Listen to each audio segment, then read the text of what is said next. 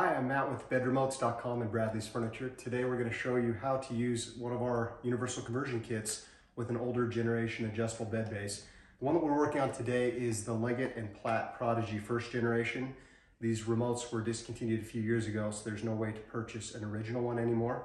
And the only option that the manufacturer's given us to get a bed working again if a remote is lost or broken is to replace all of the electronics, the motors underneath. It's expensive and it's quite difficult to do. So these universal bed kits are great because it gives you the option to extend your life of the bed.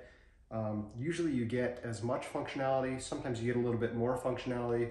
On the really advanced units like this Prodigy model, um, it's not quite exactly the same as the older molds, but they're, they're really good and it's sufficient for the most case. Uh, there's two different models of these bed kits that we sell. One of them is a black version, and there's certain beds that will send the black version out because of the ports and how it works a little bit better.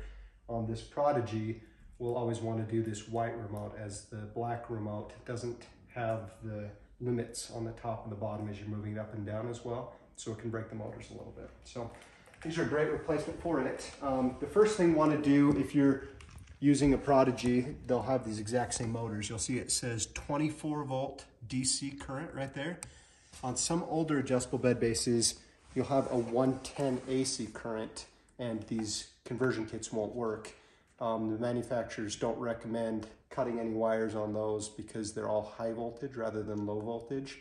And over time, um, the regulations from the government have basically said we don't want to use these beds anymore because if a wire were to get cut or frayed underneath and a child or a pet would go underneath and touch it, they could get electrocuted. So if you've got the older 110 current, we would recommend probably just getting a new bed base. But almost every bed since 2000 is going to be on these 24 volt currents, so these kits will work with it. The only other thing that you want to make sure is sometimes the motors are integrated into the control box and we're not going to be able to cut or adapt the wires in that case, the universal kits won't work either. So first step on these, just to make sure there's no sparking, we want to unplug the main power supply from the adjustable bed base. I've already done that. And then plug in our universal kit and the power supply that we include. On these power supply units, when they're receiving power, they'll get that green light on there. And then you'll hear the box on this one, it clicks a little bit when it's plugged in. Also a good note, we want to make sure to use a surge protector on any large electronic like an adjustable bed base to prevent electrical outlets from doing damage to the box. Once we've got that, we'll grab our pair of wire clippers. These were just $5 that I got on Amazon, wire clipper, uh, wire clipper and uh, wire cutters. And then under the bed, this is gonna be our foot motor. You can see the, the piston extends to the foot and the head motor's up here. So if you follow that down, we'll go ahead and start with our head motor. That wire wraps around and plugs right into the main control unit here. I like to leave a couple of inches just on the bottom and cut that off. And then you can pull the cord through. And inside, you're gonna have four, five, sometimes six on the advanced models uh, wires. I like to just perforate about an inch or so down on the unit. I've done these bed bases before, so I know that the two wires we're going to be working with are the blue and the white. Ultimately, if it's not one of the bed bases that we've done, it could be any combination of the four or five or six wires inside, but only one of them will operate the motor up and the other one will operate the motor down. So in this case, I'm gonna go ahead and just cut off the excess of the other four, knowing that I don't need those. And then we want to just strip about a quarter of an inch back on each of the wires to expose just a little bit of the, the metal wiring underneath. Now on our universal wiring kit, the orange and yellow will be the head, the blue and the brown are the foot. So knowing that we've got the blue is the head up in this case, because I've done those before, and the white is the head down, you slide those in just until they don't go in any further without cramming it too far. And when you clip that down, you can feel that it's secure and won't pull out. And then I like to just hold the bed base and just push the head button, tap it once or twice and you'll hear the motor moves. Make sure you're holding onto it so nothing falls. We'll repeat the same steps with our foot motor. So this is the foot here. If we follow the cord, sorry, this is the foot down here. You can see that it connects and goes into here. If we follow that cord, it wraps around underneath And we'll go ahead and do the same process. Strip that back. And then because we've already identified the up and down of the head, the foot is going to be the exact same combination. So we'll just remove the excess. Expose just enough wire, but not too much. Just so it can make a good contact in there. And same thing, so blue is gonna go first, white is gonna go second. Slide those in, clip them down and you can hear the foot should move. If for any reason we didn't get it in there enough, and test it again. There we go. And that made the connection with the foot. So we keep going on this unit since we have massage cords. We're gonna grab the foot motor down here and the head motor. You can actually follow that packet and this cord wraps down here. So again, I like to just leave an inch or so. If I ever need to splice those wires back together, I can do that. But we're just gonna expose that top inch or so.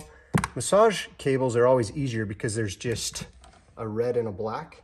And it doesn't matter which goes where because the motor will just run either forward or backward.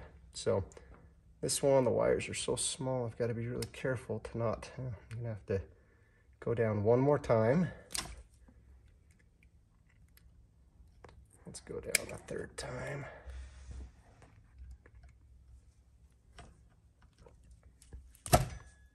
Okay, that one exposed. This one, you can just bite off with your teeth to expose that little section. Just slide that into one of our two ports. One of these is gonna be the head, one is the foot. I don't know which is which. When we've got that plugged in, if you just push the head and foot on, you'll hear that the foot worked. If you tap the foot two more times, it'll turn on to full speed and then turn it off. So because that's the head, I'm gonna switch these to the other side just to make sure that we've got them plugged into the right unit. You can hear that turn right on. And then same thing with the foot.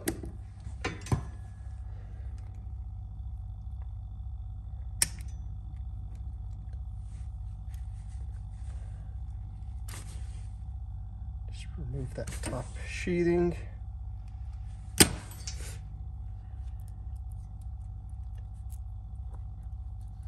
Okay. There's no way to get electrocuted because these aren't actually connected to anything.